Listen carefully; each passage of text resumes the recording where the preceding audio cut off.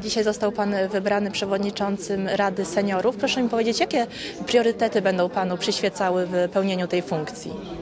No, priorytety przede wszystkim no, będziemy pracować dla dobra e, seniorów. Tak jak mówiłem e, podczas sesji, przede wszystkim sprawy materialne, do, dostęp do różnych udogodnień, no oraz przede wszystkim życie seniorów zależy od tego, czy ich dzieci, wnukowie mają pracę tu na miejscu, czy muszą dojeżdżać do innych miast lub nawet do innych państw. Cieszy się Pan z tego wyboru?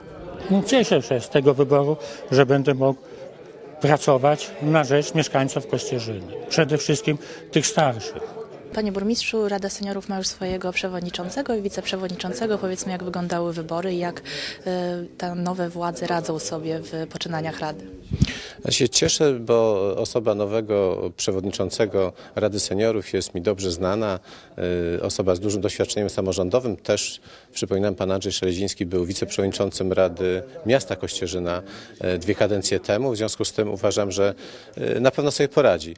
A do współpracy ma osobę też, bym powiedział, wyjątkowo ekspresyjną, o takim bym powiedział bardzo dobrym nastawieniu do sportu, oddaną sportowi pana Jerzego Skwierowskiego, więc dobrze widzę tą współpracę między osobą, między siłą spokoju pana Andrzeja Szelezińskiego i tą, bym powiedział, taką naturalną ekspresją pana Jerzego Skwierowskiego. Myślę, że to dobrze wróży dla y, tej Rady Seniorów.